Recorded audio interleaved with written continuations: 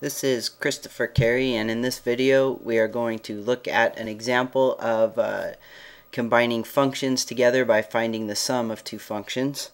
So we, our example here we have f of x equals 5x minus 4 and g of x equals negative 9x plus 6 and what we want to find is f plus g of x. And this is this is actually kind of a simple process. Uh, there's a rule that you should know before you start this that in order to find f plus g of x it is simply f of x plus g of x. And there's some similar rules for subtraction and, and multiplication as well.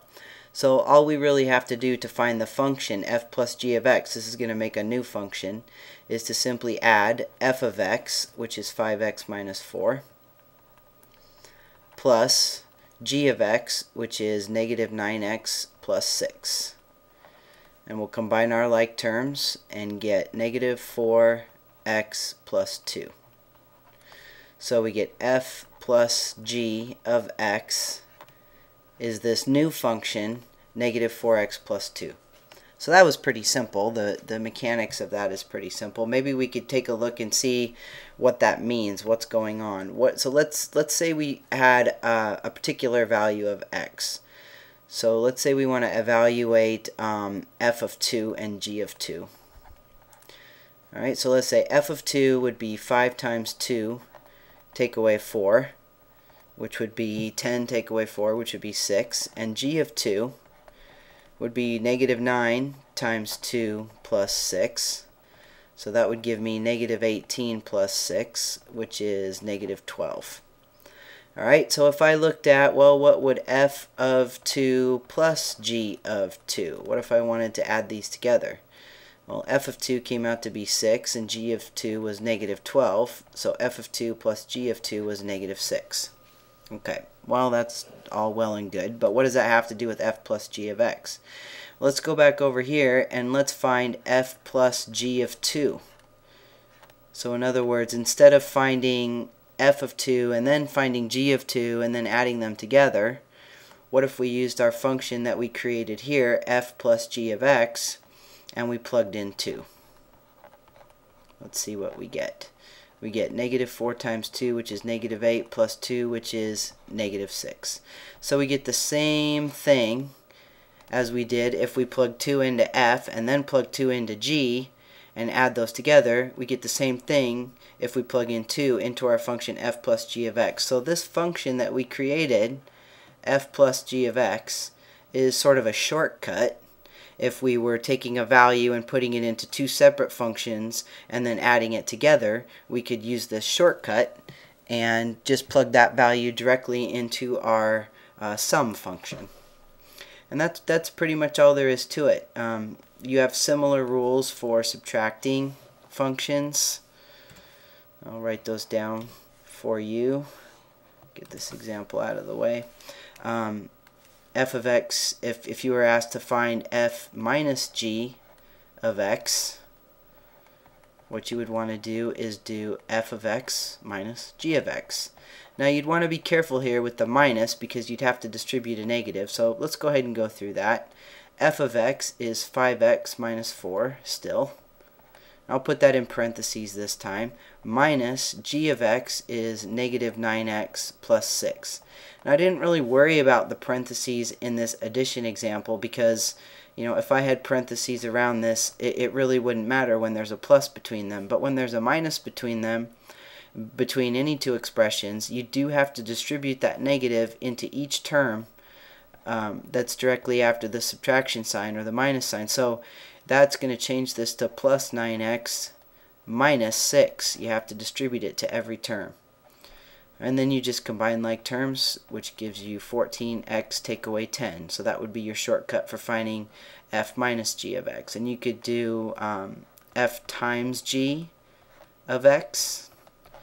So to find that, you would just take f of x times g of x.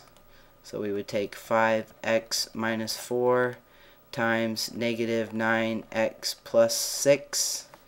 And I guess if we wanted to um, make that look a little nicer, we could FOIL that out and simplify it to be negative 45 x squared plus 30x. I'm going to run out of room here. I'll write it underneath. Plus 36x. So now I'm taking negative 4 times negative 9x. And then negative 4 times negative 6 is negative 24. So we add those together and we get negative 45x squared plus 66x take away 24. So that would be a shortcut for finding f times g of x.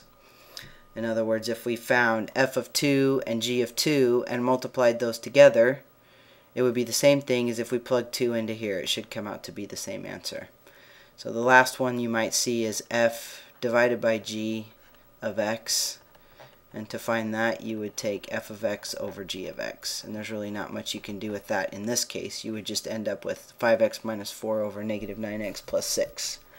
Um, so again, these are pretty straightforward uh, examples, but uh, it, it helps to understand what we're doing with those values of x. And, I, and I'm saying we could put in 2, but really you could put in any value that you want.